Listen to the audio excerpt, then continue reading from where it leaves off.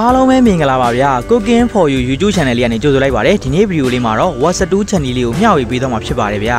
ဗီဒီယိုလေးမစတင်ခင်မှာကျွန်တော်ရဲ့တင်ငယ်ချင်းတွေကိုကျွန်တော်တောင်းဆိုချင်တာလေးရှိပါတယ်ဗျာနော်အဲ့တော့အချက်ပြုတ်ကိုဝါသနာပါတယ်အခုလိုမျိုးဟင်းချက်နီဗီဒီယိုလေးတွေကိုအမြဲတမ်းလေ့လာခြင်းနဲ့ဆိုရင်ဟင်းချက်နီတွေကိုနေ့စဉ်တင်မဲ့ကျွန်တော်ရဲ့ channel လေးကို subscribe မလုပ်ရသေးရင် subscribe ခလို့လေးကိုနှိပ်ပြီးတော့ဗီဒီယိုအသစ်တင်နိုင်သိအောင်ခေါင်းလောင်းလေးနှိပ်ထားဖို့တောင်းဆိုလိုက်ပါတယ်ဗျာနော် ဝက်စတူးချက်ဖို့အတွက်ကျွန်တော်ဗီဒီယိုမှာပြထားသလိုမျိုးဝက်ပောင်အတုံးလိုက်လိုရပါမယ်ဗျာတကယ်ချင်းတို့အနေနဲ့ဝက်ပောင်အတုံးမသုံးချင်ဘောနော်ဝက်လက်တို့ဝက်ချက်တော့တို့သုံးပြီးတော့လဲချက်လို့ရပါတယ်ဗျာဝက်စတူးပြုလုပ်ဖို့အတွက်နောက်ထပ်လိုအပ်တာတွေကတော့ကြက်သွန်ဖြူ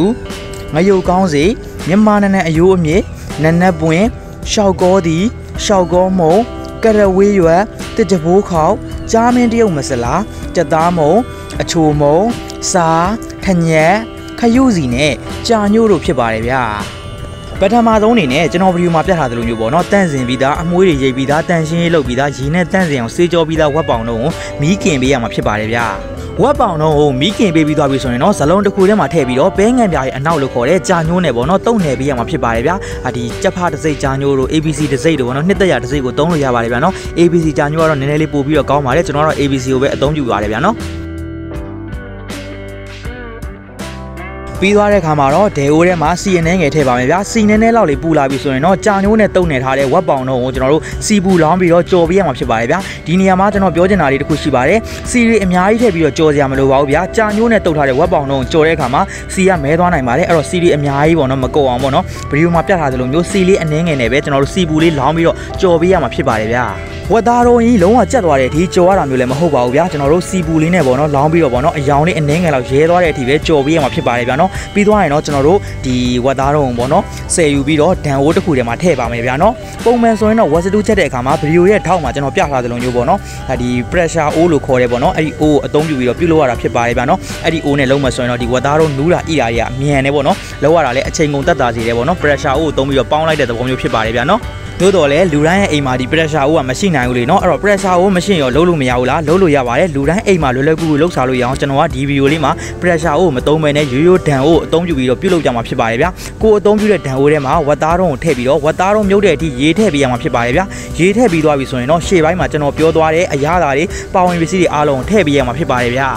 အရသာနဲ့ပါဝင်ပစ္စည်းအချိုးစားတွေကိုတော့ကျွန်တော်မပြောပြတော့ပါဘူးဗျာအဲ့ဒါကတော့ကိုအသုံးပြုတဲ့ဒဏ်ကိုကိုထဲတဲ့ရေပမာဏပေါ်မှာမူတည်ပြီးတော့စိတ်ကြိုက်လူတို့ပိုချော်လေးလုပ်ပြီးတော့ထည့်လိုက်ကြပါဗျာပြီးသွားရင်ဝက်စတူးတုံးပေါ့နော်တတုံးလို့ချင်းနှစ်တုံးလို့ချင်းအရသာပို့သွားတာမျိုးမရှိပါဘူးဗျာကျွန်တော်ရှင်းပြပေးပါမယ်ကိုကဘယ်နှစ်တုံးပဲလုပ်လို့ပေါ့နော်အဓိကကတော့သုံးတုံးလုပ်ရင်သုံးတုံးကိုဒဏ်အိုးထဲမှာထည့်ပြီးတော့ရေမြော့အောင်ထည့်မယ်ရေပမာဏပေါ်မူတည်ပြီးတော့အရသာတွေထည့်ရတာဖြစ်ပါတယ်ဗျာနော်အဲ့ဒီအရသာတွေနဲ့အမွှေးနဲ့နေရဝက်စတူးတုံးနဲ့ကိုဝင်သွားမှာဖြစ်ပါတယ်ဗျာနော်ကျွန်တော်အခုလုပ်ထားတာဆိုရင်ဗျာဝက်စတူးတတုံးပေါ့နော်နောက်ထပ်တတုံးလောက်ထည့်ထည့်မယ်ဆိုလို့ရှိရင်အခုဒဏ်အိုးနဲ့ပဲရေထက်ထည့်စရာမလိုပါဘူးအဲအရာတွေလည်းထက်ထည့်စရာမလိုပဲနဲ့ဒီတိုင်းပဲလုံးလိုက်လို့ရပါတယ်ဗျာနော်အကယ်သုံးလုံးဆိုရင်တော့ဒီအိုးနဲ့မဆန့်ပါဘူးကျွန်တော်တို့အိုးကြီးတာနဲ့ပြောင်းရမယ်ဝါသားတော့မြုပ်တဲ့ဒီရေပိုထည့်ရမယ်ဗျာအဲ့တော့ရေများသွားတဲ့အတွက်အရာတွေပါဝင်တဲ့ဒီအမွှေးနံတာတွေအချိုးစားတွေလည်းနည်းနည်းလောက်များသွားမယ်ပေါ့ဗျာအဲ့တော့ကျွန်တော်သုံးထားတဲ့အမွှေးနံတာကတော့ကျွန်တော်6မျိုးလောက်တော့ရှိတယ်ပေါ့နော်တကယ်ချင်းတို့အနေနဲ့ကုန်ကြစိတ်များမှာဆိုလို့ရှိရင်လည်း3မျိုးလောက်ပဲသုံးမယ်ဆိုရင်လည်းရပါတယ်ဗျာနော် ပြီးသွားတဲ့အခါမှာတော့၃မျိုးဆက်လို့ခေါ်တဲ့မြန်မာနန်းနန်းအယိုးအမြင့်ကြက်သွန်မြူငရုတ်ကောင်းစေးတို့ကြည်မြအောင်ထောင်းပြီးတော့ကျွန်တော်ထည့်ပေးရမှာဖြစ်ပါတယ်ဗျာဒီ၃မျိုးဆက်ကမထည့်ခြင်းလည်းရပါတယ်ဗျာကျွန်တော်ဗီဒီယိုတိုင်းမှာပြောနေကြစကားရှိတယ်ပေါ့နော်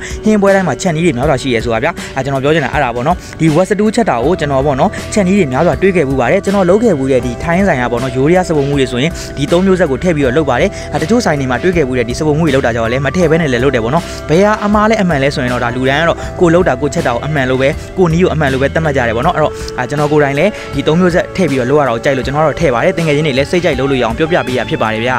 အားလုံးကိုကြင်ညက်သွားအောင်ထောင်းပေးပြီးသွားပြီဆိုရင်တော့ခုနကတော့အိုးတဲ့ကိုထည့်ပေးရမှာဖြစ်ပါတယ်ဗျာအရေးပဲညှစ်ပြီးတော့လည်းထည့်လို့ရတယ်လို့မျိုးအကုန်လုံးကိုလည်းထည့်လိုက်လို့ရပါတယ်ဗျာကျွန်တော်ကတော့ထောင်းထားတာတွေအကုန်လုံးကိုထည့်လိုက်မှာဖြစ်ပါတယ်တင်ငယ်ချင်းတို့ရေ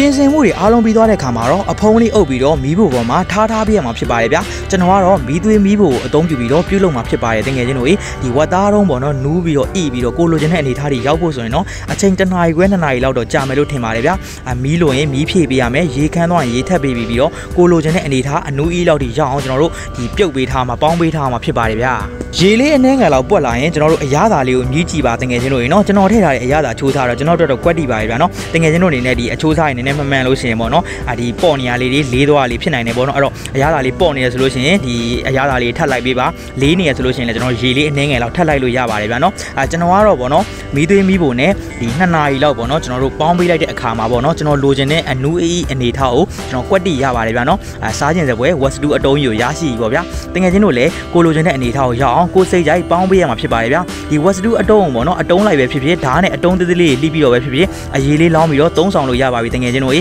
ဝက်စတူအရေးထဲမှာကစုံရွက်တို့မုံညင်းဖြူတို့ကိုက်လန်ဖန်ဖန်မုံညင်းနှစ်သက်ရအရွက်တွေကိုထည့်ပြုတ်ပြီးတော့သုံးဆောင်လို့ရပါတယ်ဗျာ